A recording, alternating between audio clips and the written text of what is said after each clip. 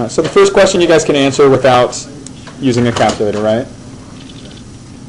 Is the graph opening up or down?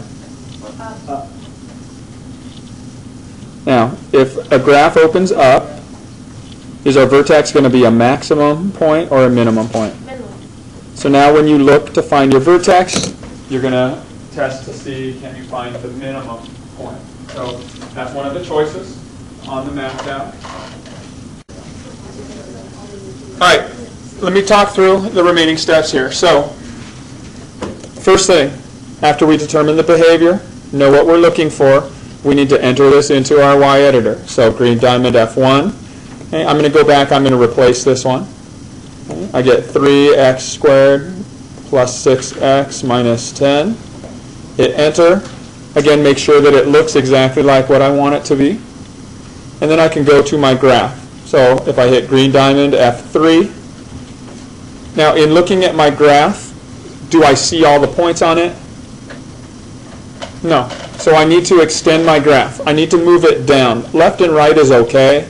The up part is okay, but I need to go down further than negative 10 on the y's. So I need to change my window setting, green diamond F2. Okay. My y minimum needs to be lower than negative 10, so I'll go negative 20 on this.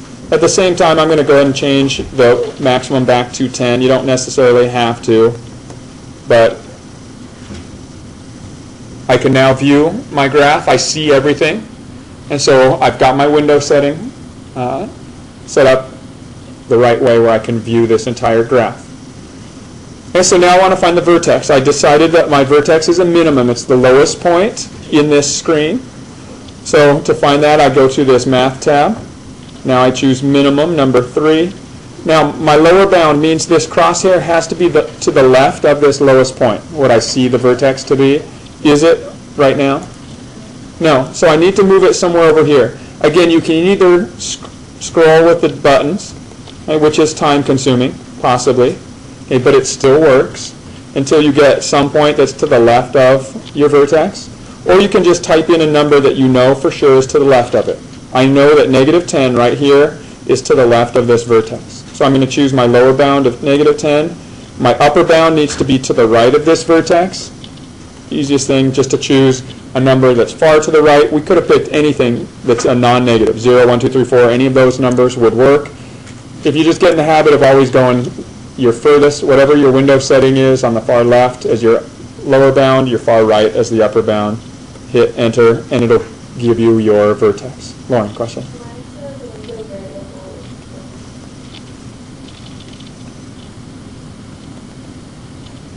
Okay. Check and see, are, like, in your window settings, is your maximum and minimum, are they the same number, or is the maximum smaller than the minimum, or vice versa?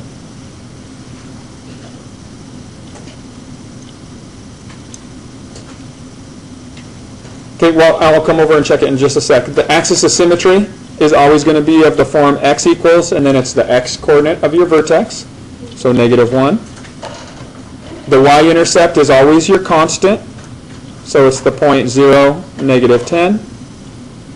And then you can pick one other solution point, and so on your graph, and we already have a point to the right of our vertex, so let's pick a point that's over here, to the left of it, and again on our Math tab, choose value. And what's a point that's to the left of negative 1? A value, an x value to the left of this axis of symmetry. Negative 3. So if we pick negative 3, we get the point negative 3, negative 1 as our other point. And so when you sketch this, what you should do is choose your point,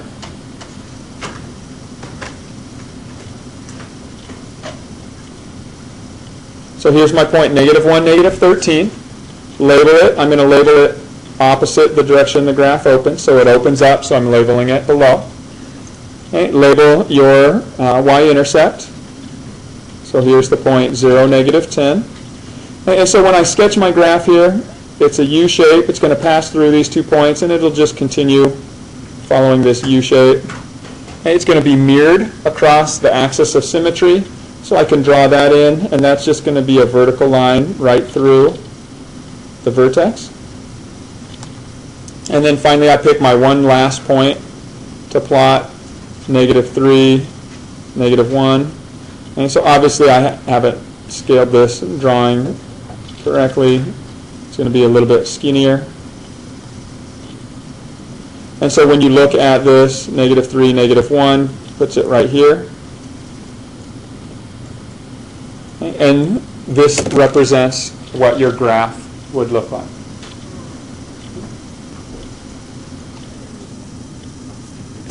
All right, I'm going to do one more example. You should be able to answer all those questions pretty quickly with this. Okay. I want you to try this one very fast.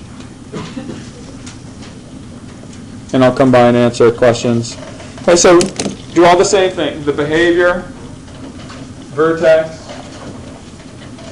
find symmetry.